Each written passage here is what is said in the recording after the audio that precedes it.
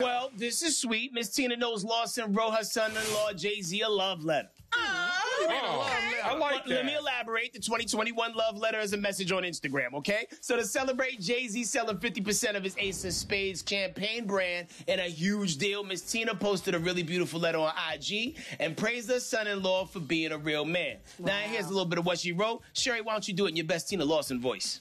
Uh, well, all right, HK. This is a love letter to my son in law, Sean Carter.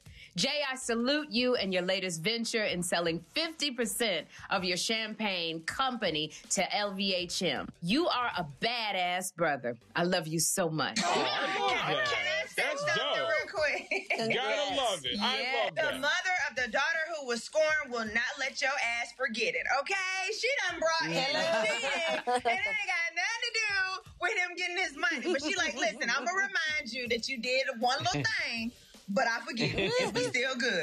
And I love you. Right. Hey, don't forget to hit us up on social media. We're on all these platforms at Dish Nation. We'll see you there.